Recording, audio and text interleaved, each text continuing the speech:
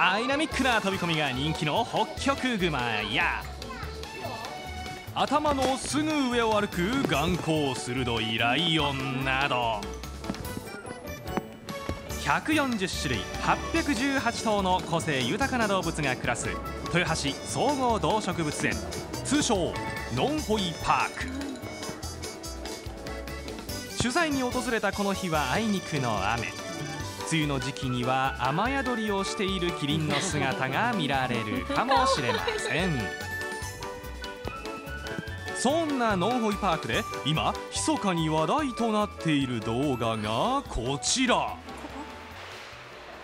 いいねド迫力なカバー。実はこれ今月11日に公開された飼育員目線のお仕事動画なんです。この他にも象の採血やキリンの爪切りなど飼育員目線のお仕事動画を YouTube で見ることができます。きっかけはまあ我々内部の人間ではまあ当たり前のようにやっているトレーニングとかでも一般の人にとってはすごく珍しいと思うので、まあ、そういう部分を知っていただくというのもいいかなと思って。実はこののんほいパークナイトズーやクイズラリーなど工夫を凝らしたイベントが人気を集め去年1年間の来園者が100万人を突破するなど今ノリに乗っているんです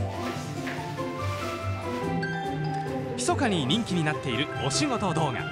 中でも人気なのがレッサーパンダの動画。実際に見せてもらいました。で今、えー、と体重を測ってますね。体重が6.7キロになります。このように体を触って体に、えー、怪我がないかとか体の肉付きを触って確かめてしてますね。かわいいこれはレッサーパンダの体調管理。飼育員さん曰く今の時期は少し体が細いと言います。体調不良なのでしょうか？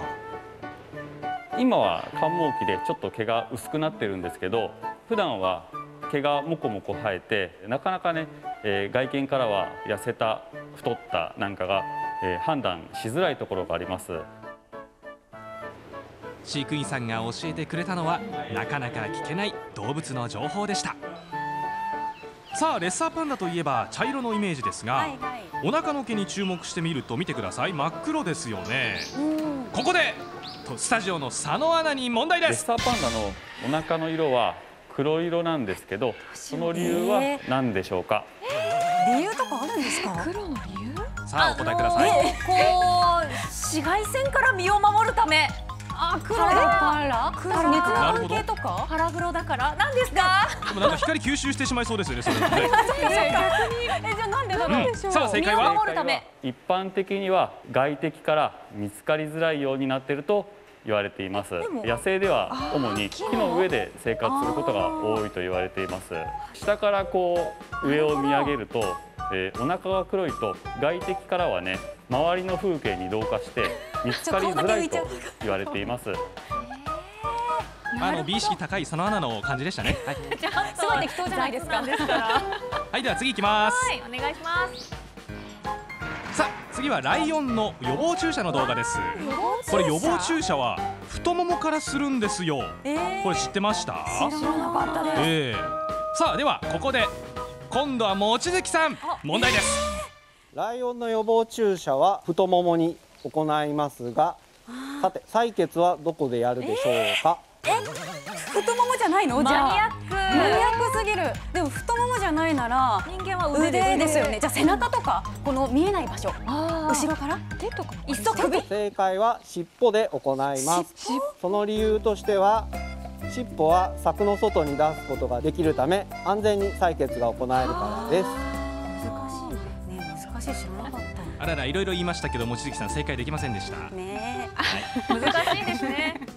さあこのように飼育員さんだけが見ることができる動物のあんな顔やそしてこんな姿。